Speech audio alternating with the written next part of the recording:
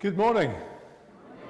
And welcome to our worship service here at Mayfield Salisbury. Lovely to see you here in the church. Lovely to see you online too. Um, welcome as well to our morning worship uh, this morning. Everyone's most welcome too after the service to come through for tea and coffee, other refreshments through in the Bill MacDonald Hall, through the door to my right. Um, do come through if you can. We'll uh, worship together in the service mostly unannounced. It's all uh, in the order of service as we worship. One minor change, uh, entirely mea culpa, my own fault. Uh, the last hymn should be number 459. It is indeed Crown Him with Many Crowns. If you look at the number uh, that's in the order of service, you'll be in an entirely different place. So it's 459 and it's to the tune Diademata. Diademata 459 for Crown Him with Many Crowns. We're approaching Lent, which begins on Wednesday. Hope you've got your uh, pancake mix ready for Tuesday, for Shrove Tuesday. And at the start of Lent on Ash Wednesday, that's coming up, we have a service together. If you'd like to mark the start of Lent in worship, a service together with folks at Priestfield, which is at 7 o'clock at Priestfield on Wednesday night, on Ash Wednesday, 7 pm. Everyone very welcome. Lent is a time for personal reflection in our lives, a time to think again about our faith and our relationship with Jesus Christ as we prepare over 40 days and 40 nights, as Jesus did in the wilderness, um, for the passion of Christ in Holy Week and for the joy of the resurrection on Easter Sunday. You might be in a period of brief respite if you set yourself some New Year's resolutions that have begun to drift to the wayside. You might have had a short while of full indulgence and now be thinking again of what you ought to give up come Wednesday. Um, but if you are giving anything up on Wednesday over those five and a half weeks, it's not just for the sake of it, even though it might have its side benefits in your waistline, maybe, or your bank balance. Uh, it's to give ourselves away too. The idea is that uh, we refocus ourselves on what's important on the Lent journey, we deny ourselves and we take up our cross. Um, so, on this last Sunday before Lent, the church usually focuses on the transfiguration of Jesus.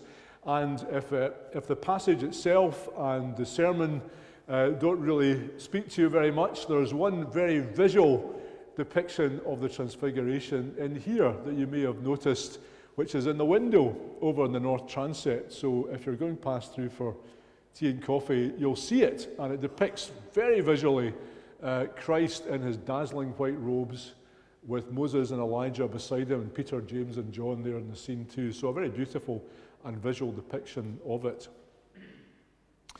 Uh, if you are going through, you'll notice that uh, we have a fair trade stall this morning. So it's a cash only stall, but I'm sure if uh, you want to offer IOUs or bottle tops or buttons or some kind of promise to Alistair and Jean, they'd be very willing. So lots an offer there. So do stop at the fair trade stall on the way past. Um, coming up in the life of the church, uh, a reminder this week that all are welcome at our Tuesday prayers and at Thursday Club, as well as a service of thanksgiving here tomorrow in the church at half past two for the life of the Reverend Ralph Smith. And if you knew Ralph, uh, you'd be most welcome to be here tomorrow afternoon at 2.30 for Ralph's service. I notice also on the order of service on Friday, we have a holiday club, a faith and fun morning for primary age children. Um, so if you'd like to sign anyone up for that, then please do. Please do contact our youth worker, Bettina. Next Sunday, we uh, join together with friends at Priestfield and Craigmillar Park as Newington Trinity for a single service here at 10.30. So third Sunday of the month, we have our joint service. So it's one service next Sunday here at 10.30. Jesus said, Blessed are the peacemakers, for they will be called children of God. Into a world that is stained with conflict and with violence, Jesus calls us to be peacemakers. So before we offer our worship to Him, if you'd wish, let us share his peace with one another, with those around us. May the peace of Christ be with you. Peace be with you.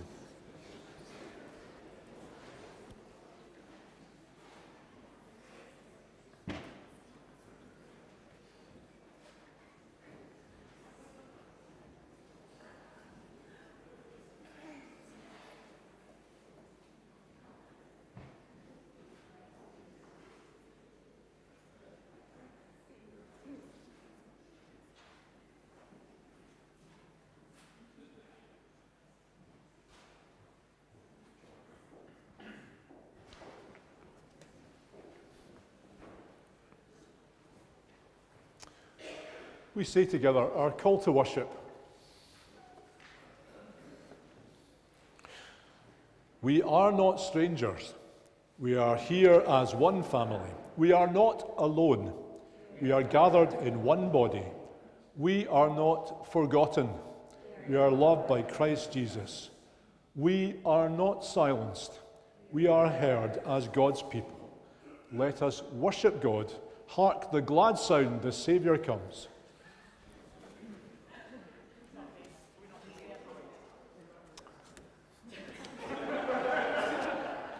Let us worship God in a few minutes' time after we take a time for silence and the introit.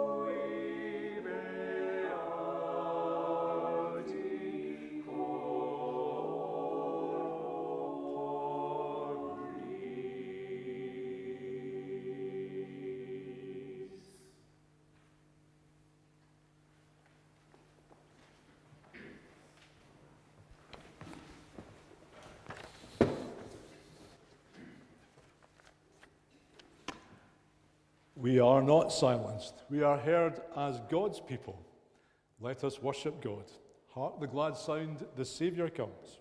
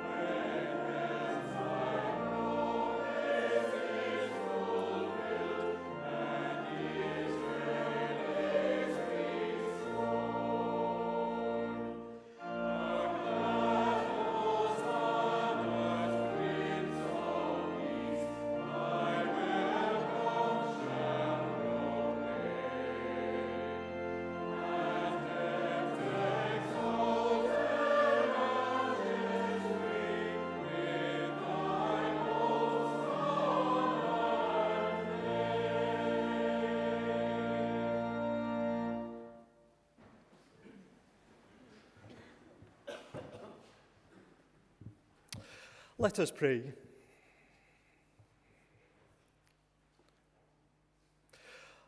Loving God, God of light and peace, your light shines upon us, even at the darkest times. Your light guides us, even in the hardest times of our lives. As stars in the night sky helped sailors to find their way in years past. When we know you, love you, and trust you, God, your light brightens our paths, clearly showing us all that might bring us to harm. The many things of life that might trip us up or block our way. The things that might come between you and us. The things we could not see clearly if we lived away from the light of your love and word. We are grateful, God, that we have your light, for we know that little grows or can even survive in the darkness. It's a light that nourishes us, strengthens us, and brings us warmth and life, peace and comfort. When you created this light, God, you created it to be good, and that goodness permeates our very souls. But sometimes, God, your light can be so, so bright. When the brilliance of it shines upon us, it can make us want to turn away or hide in the darkness. For each of us carries with us a weight of things we have done wrong mistakes, pain, suffering, and hurt. Things that we perhaps would not like others to see. But we know, God, that your light is so bright that you see all things. You know the things that can overwhelm us or make us feel guilty or ashamed. Your light is not there to shame us, God, but rather to remind us that nothing we have done is too much for you to forgive when we choose to accept your light and love. No pain or suffering that we have is not known to you. For your light, God, is the light of love. So bring your brilliance to us and change us, just as you changed Jesus as he stood on top of the mountain. Help us to learn to shine like you and with you for the world to see, just as you called us to and laid out for us in the words that Jesus taught us to say together Our Father who art in heaven, hallowed be thy name. Thy kingdom come, thy will be done on earth as it is in heaven. Give us this day our daily bread, and forgive us our debts, as we forgive our debtors. And lead us not into temptation, but deliver us from evil. For thine is the kingdom, the power, and the glory forever. Amen.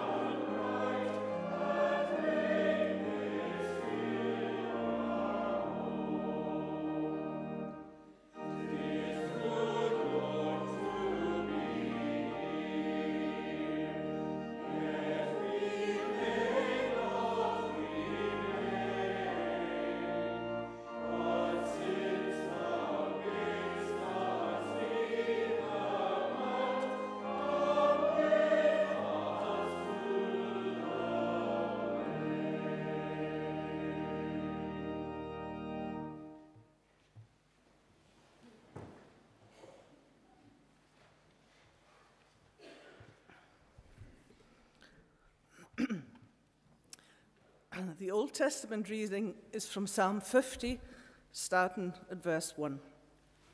The mighty one, God the Lord, speaks and summons the earth from the rising of the sun to its setting. Out of Zion, the perfection of beauty, God shines forth. Our God comes and does not keep silence. Before him is a devouring fire and a mighty tempest all around him.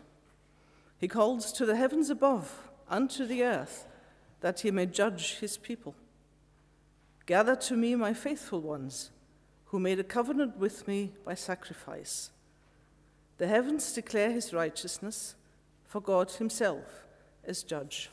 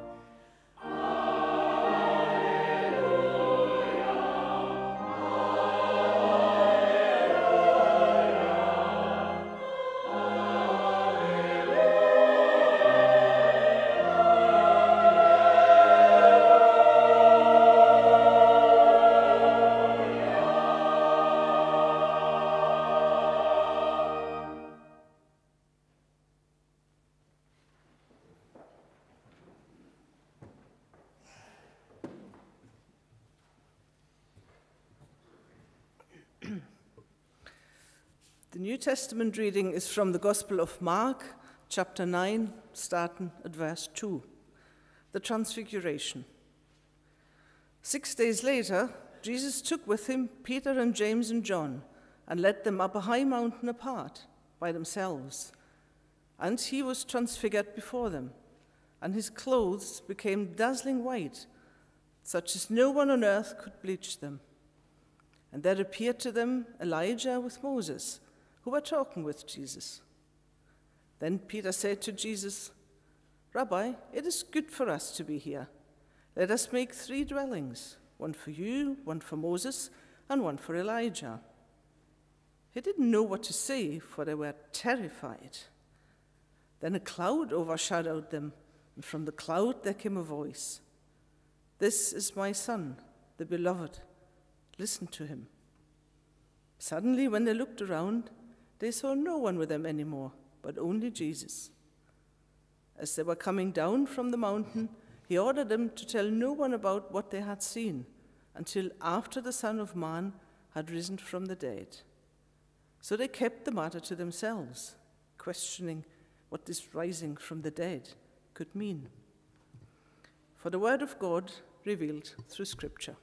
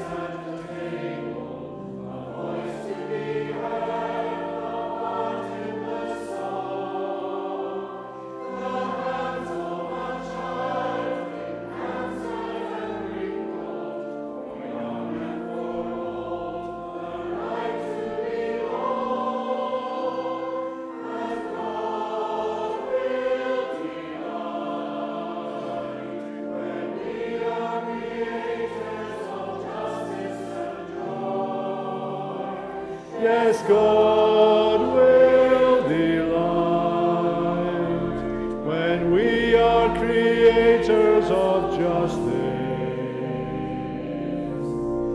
justice and joy. For just and unjust a place at the table, abuser abused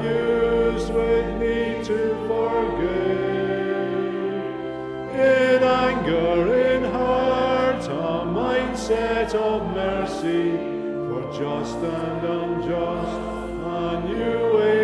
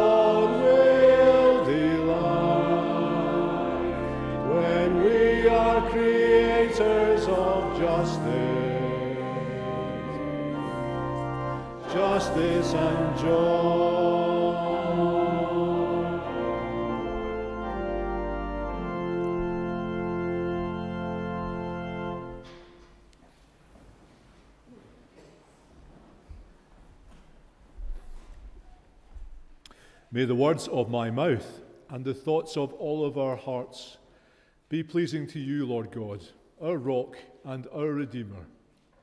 Amen.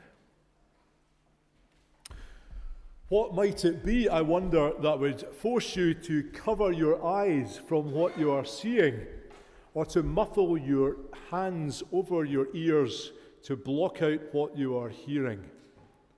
To say, I can't take this any longer, please make it stop. Apart from the next 10 minutes of your life, of course.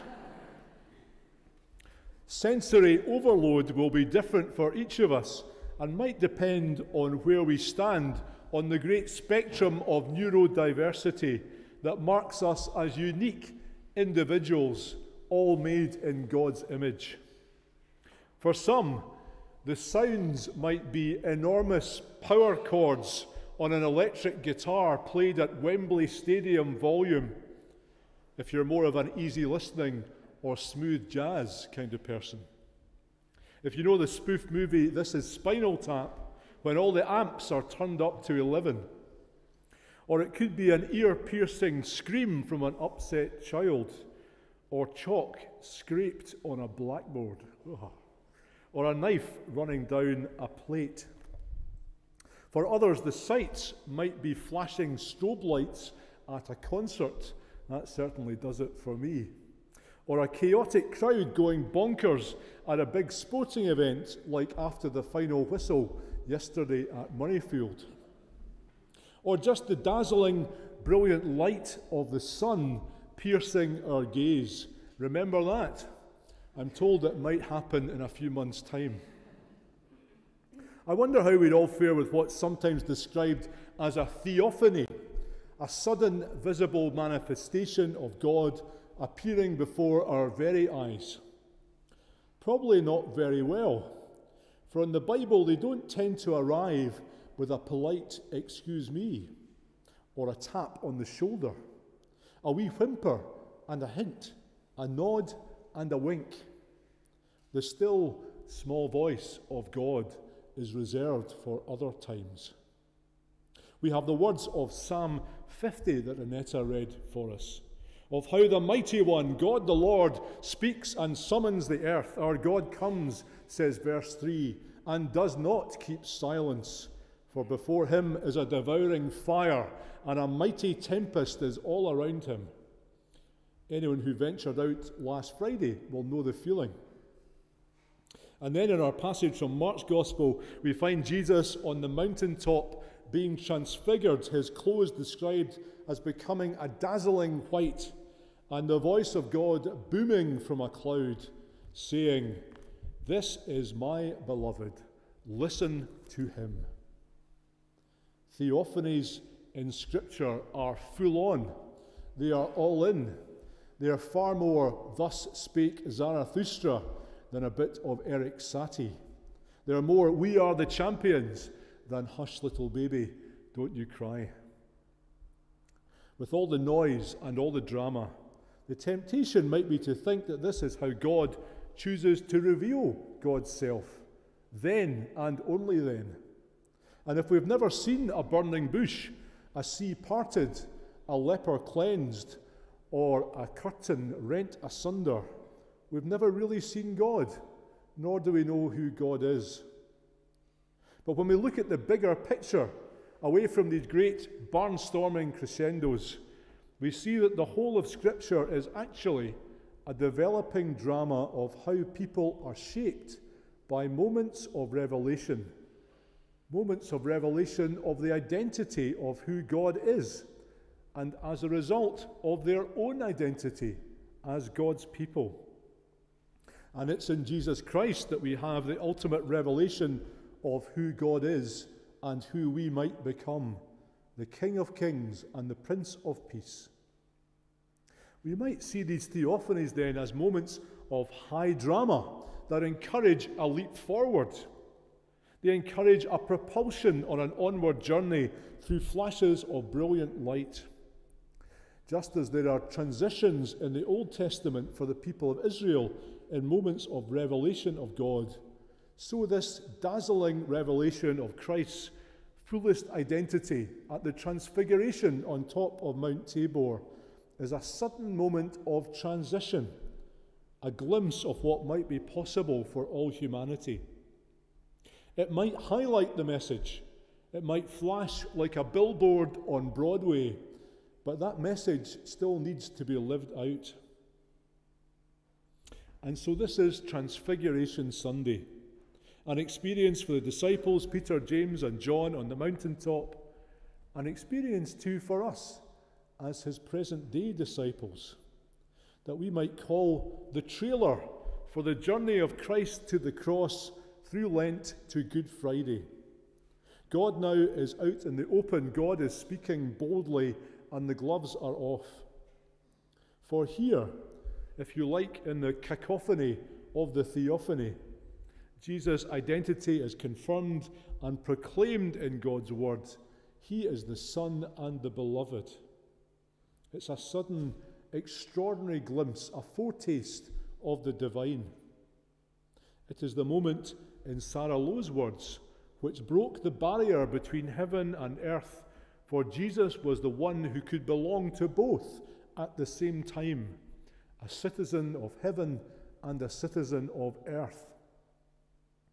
A high spot when the reality of who Jesus really was dawned on the disciples. Suddenly they see it in a flash, in an instant, that Jesus is the fulfillment of the law. Moses is there.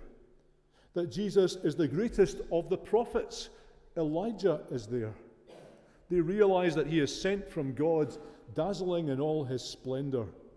A brief vision of Christ in all his heavenly glory. A moment after which life will never be the same again, but not to hold on to forever.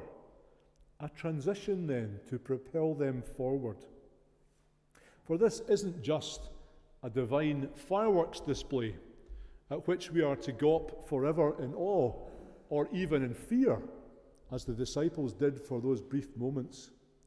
For faith is dynamic, it's always moving on, it's much more embarking and travelling than arriving. Through doubt and questioning, through hurt and struggle, through revelation and joy, As one theologian puts it, every moment of clarity with God is merely an invitation to the next question, to move onwards and take the next step. Some of us will have been to the mountaintop in our lives. We'll have seen clarity in the brilliant white light and heard the thunderous voice of God speaking in our lives, a theophany that reveals to us the identity of God or the presence of Jesus Christ in our lives unmistakably and forever.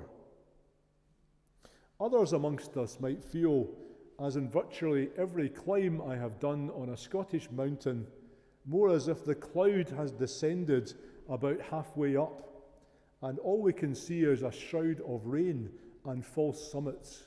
No booming voices there. Yes, this vision is seen by Peter, James, and John on the top of the mountain. And Jesus is changed forever, not in who he is or what he does, but in how he is seen there, how his identity has been revealed. But that transition and that identity is linked not just to being there at the top of the mountain. That's why Peter's suggestion of building some shelters for them all at the top is scoffed at. But it's indelibly linked also to coming down from the mountaintop, coming down into the shadows and the darkness of the valley, journeying towards Jesus' destiny on the cross in Jerusalem that journey that we will begin too shortly in Lent. Down then for us as well, away from the mountaintop, if you've ever reached that summit, into the shadows of the valleys, into the shadows of war, into the shadows of personal pain and loss, from the mountaintop to valleys, but then onwards to Jerusalem, to the cross and the empty tomb, and to places of resurrection and peace, hope and new life for all humanity. Lent draws us into that invitation to become part ourselves of the discipleship story from the mountain to the tomb, living by faith, trusting the one who promises, stepping out together onto the Jerusalem road. And as we make that walk with Christ in our everyday lives in the time of Lent, carrying to our crosses the glimpses of the divine that we might have encountered before on the mountaintops sometime in our worship or our spiritual experiences in life, might begin to emerge again. Think of the quote on the front of the Order of Service from Marilynne Robinson Wherever you turn your eyes, the world can shine like transfiguration. You don't have to bring a thing to it except a little willingness to see. Only who could have the courage to see it? Where do we see the small glimpses and snapshots, the small glimmers of the divine around us in our lives? In the beauty of a sunrise, maybe, or the flowers of spring in the garden or the hand held by a loved one, the smile of a stranger. We should never underestimate, no matter how old we are as Christians, the power of Jesus to surprise us. And there is room here in this church, and indeed in all churches, not only for those who have been to the mountaintop and have seen that dazzling image, but also for those who have always felt that they were at base camp in the valley, feeling only God's absence. And room too for those who seek God from nowhere, perhaps calling us to change our whole concept of what church is, to put that front and centre. As Steve Aisthorpe said in his recent book, Rewilding the Church, church is perceived as standing for certainty, dogma, and fixed practices are no place for spiritual pilgrims. But when church is understood as what emerges from an open hearted journeying with Christ, we will find many fellow travellers beyond the circle of our existing congregations. So, whether you feel like you're blinded by the dazzling light before you, or like you're pawing about in a power cut looking for a candle, Whether you feel you're front row at Glastonbury with the Foo Fighters on the pyramid stage, or you're hearing the faintest of voices calling across the open fields, Jesus invites us now to come down the mountain and journey with him to the cross throughout Lent. What is it in the Transfiguration that might make us set out on the route? Well, maybe it's that foretaste, the trailer, the glimpse of what is to come that Peter, James, and John saw at the top of the mountain in the theophany. That glimmer draws us to the invitation to become part ourselves of the discipleship story, living by faith, trusting the one who promises, stepping out together onto the Jerusalem road for the full unveiling of what God is really up to is on the way ahead. Amen.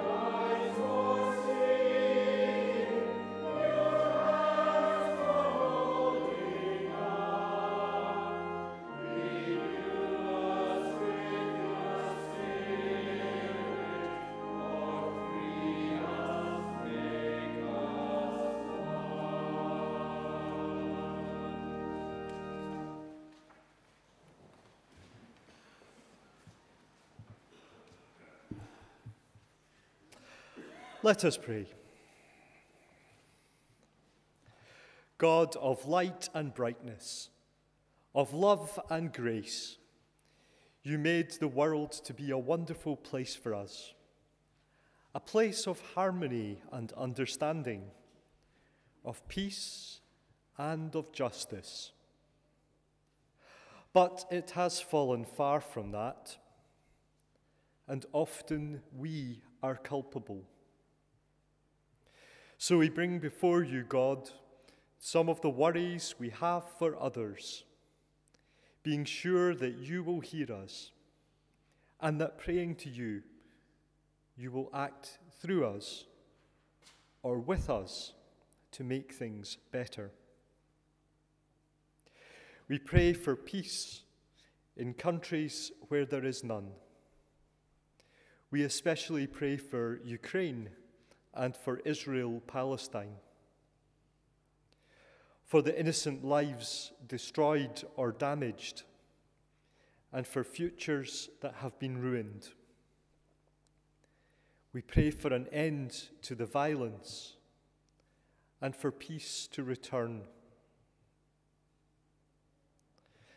And loving God of peace, we pray for the wider Middle East as once again tensions rise and the threat of widening conflict becomes more real. So we pray for calm.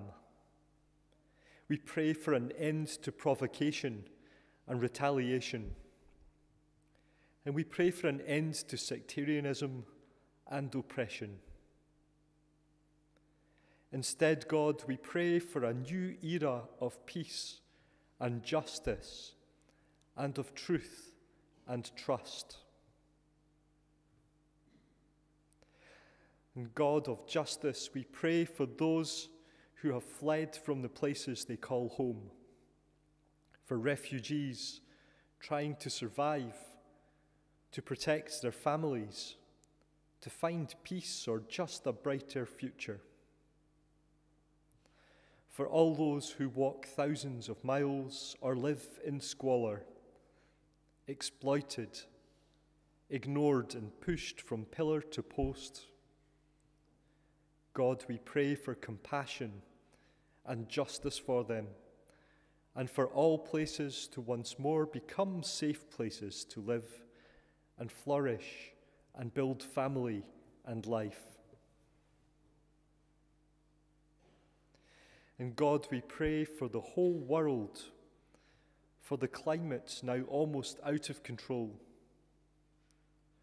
for people affected by flooded farmland and disappearing islands and coastlines. We also pray for people affected by drought and famine, storms and extreme cold. God, we pray you would help us all to make any change we can, however small to help to stabilize things once more. God, we pray finally for those we know or have seen who are struggling in one way or another. For people suffering from poor mental or physical health. For the exhausted and the abused. We pray for those whose lives are darkened by things that have happened to them in the past, for the grieving and the heartbroken.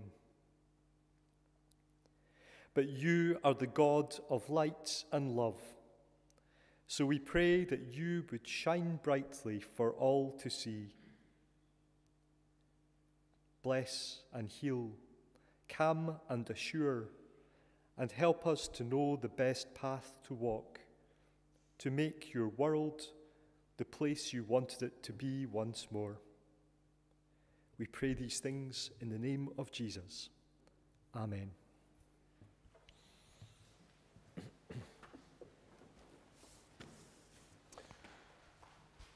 Our final hymn, we worship together in song, praising God with something of the majesty of Jesus Christ, of his divinity that comes across not only in the Transfiguration, but so often in Scripture and in our lives. It's number 459 Crown Him with Many Crowns.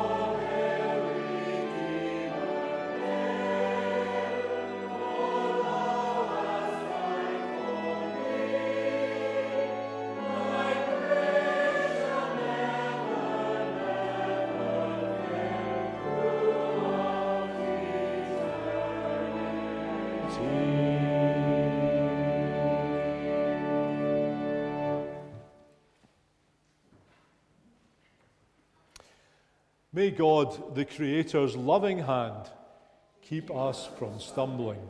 The footprints of Jesus give us confidence to follow, and the warmth of the Spirit keep us safe in our walk with God. And as we journey together through Lent, may the love of God, the blessing of God, walk alongside us when the road is rough, the road is bumpy, to lift us up and when we lead us to the joy of the resurrection of Easter Sunday, may we feel love in our hearts as we approach that place. May the blessing of God Almighty, Creator, Redeemer, and Sustainer, be with each one of us and all whom we love, now and forevermore.